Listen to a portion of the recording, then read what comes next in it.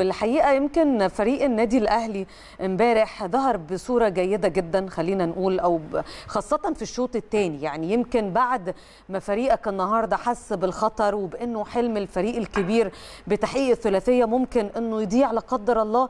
طبعا إحنا عارفين إنه نادي الاتحاد السكندري هو اللي تقدم بهدف لكن بسرعة جدا الفريق واللاعيبة الرجالة يمكن كان عندهم يعني الحس ده وكانوا عند حسن حسن الظن خلينا نقول بيهم وقدموا شوط تاني ولا أروع. سجلوا هدفين رائعين. طبعا قفشة اللي خلاص يمكن قفش قلوب كل الأهلاوية. حمدي فتحي كمان اللي النهارده بيقدم أداء راقي جدا.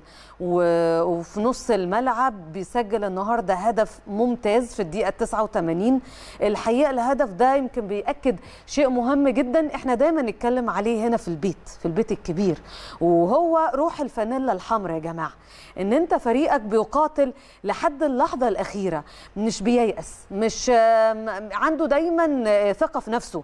عشان كده يمكن أنت النهارده يعني يعني خلاص قدرت إن أنت تحقق فوز وتنجح وتوصل للمباراة النهائية بعد ما كان في كتير الحقيقة يمكن إحنا النهارده مستنيين أو كان في ناس خلينا نقول للبعض البعض الكتير كانت مستنية إن أنت تقع علشان يفرح فيك أو يشمت فيك.